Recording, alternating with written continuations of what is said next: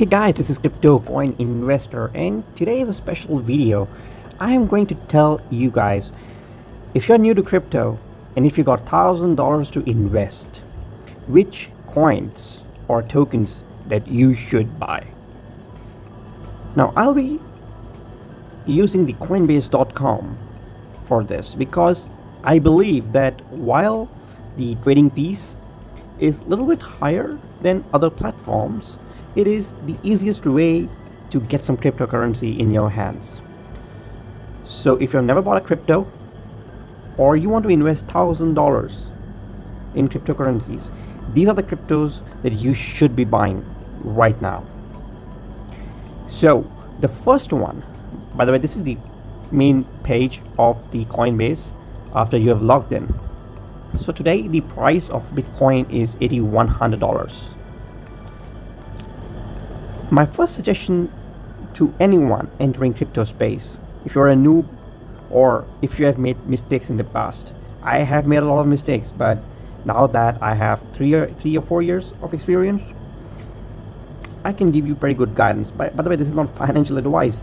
Do not sue me if something goes wrong. But I think, or I should say, I believe that these cryptos will do well in the next bull run. And I'm talking about long-term holds. So let's say if bitcoin goes down to 6000 no need to sell just hold on to it. Because in the long run when bitcoin goes to let's say $100000 or $200000 these little bumps won't matter at all. So my first advice is to keep 50% of your stack in bitcoin. Why? So while the other cryptos may give you more gains this is the safest one of all of them. This is the king the BTC so buy $500 worth of Bitcoin. After that put about 20% in Ethereum.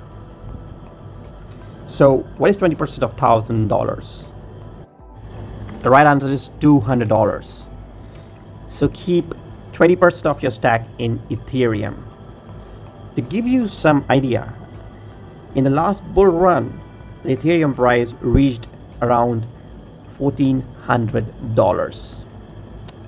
And that's true. Ethereum is, a, is the best smart contract platform out there. There have been a lot of people who doubted it. There have been a lot of competition.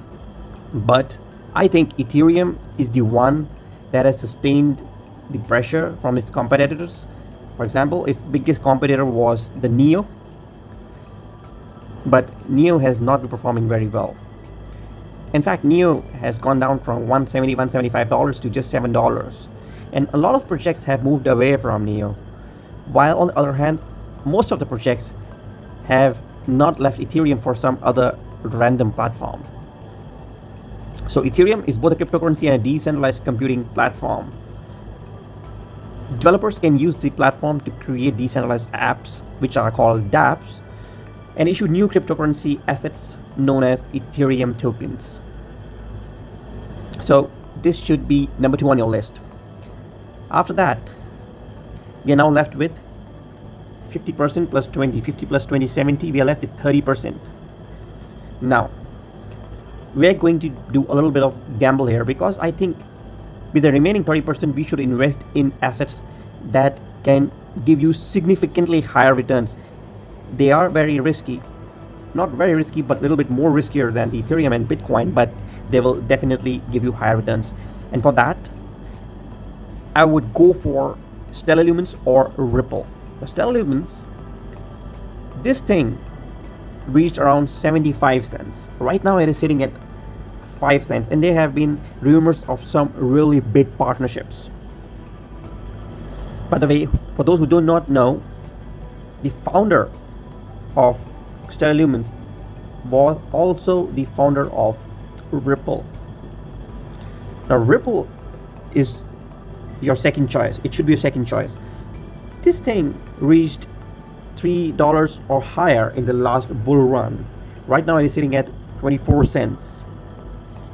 So these two are very risky assets. They have very large supply compared to Ethereum and Bitcoin, and that is why the prices are low. So choose between either Stellar Lumens or Ripple. Both of these assets are very fast. They are much faster than Ethereum and Bitcoin. And the reason behind that is the fact that these two, Stellar and Ripple, are much more centralized. It's very hard for the user to run a node. The software are not as easy to use when you compare to the Bitcoin core client or the Ethereum client. The Stellar Lumen client especially requires you some technical know-how to set up set everything up. It's not that straightforward like you double click and the core black core app will start running just fine. It's not that simple. So due to that this it is very centralized in nature and due to that very reason that transaction confirmation times are super fast.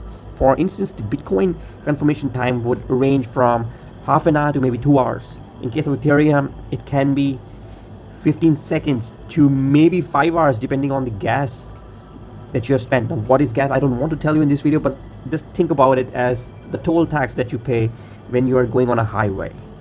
Alright, so it's like a highway tax. The gas is like a highway tax that you pay in Ethereum for an Ethereum transaction. And in case of Stellar Lumens, for sending, let's say, $1,000 to someone, you would have to pay about 0.000001 dollars. That's basically free and that transaction will complete in three seconds. Same goes for ripple. Again very fast. So where should you store these assets. Once you have bought thousand dollars worth of crypto i suggest you to take them off the exchange.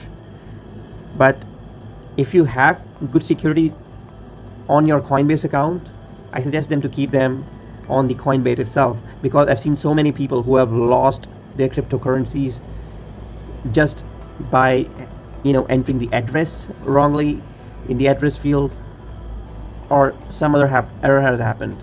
They were not able to understand the third party wallet properly and they did some sort of mistake or they lost the uh, code that is required to recover the wallet. So if you are a noob there's no harm being a noob. But if you are a noob and you have some problems in understanding how these cryptocurrencies work because each of these cryptocurrencies work in a slightly different manner and they require you to have some technical know-how.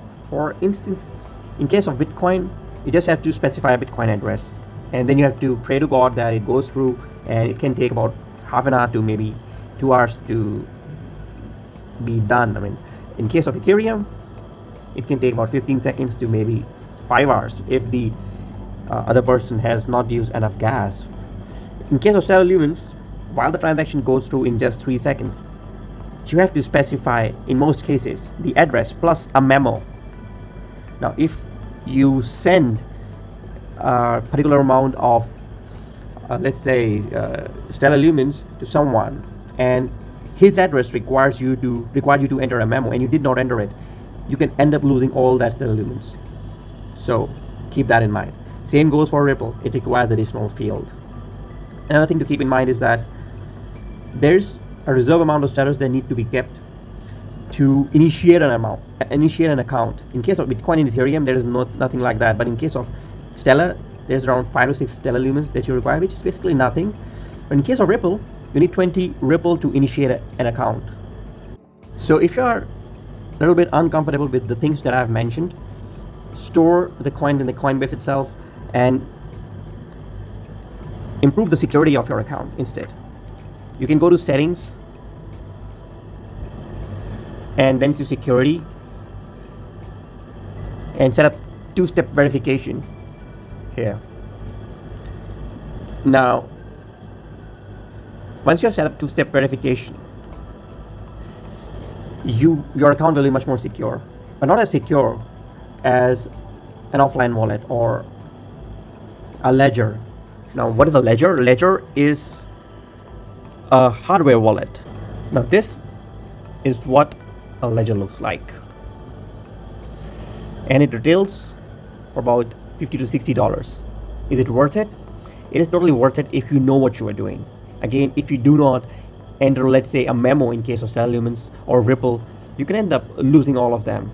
So for thousand dollars i think it is totally all right to store them in store them in the coinbase itself of course they will multiply a lot in the long run and then you can learn some new things and you can then buy uh, a ledger nano for yourself but until then i suggest you to stick to coinbase itself because i think it's the easiest way to buy and sell crypto alright if you like this video give a like and share with your friends i know this video is not for the hardcore guys who do trading on an, on an everyday basis on Gemini and Binance.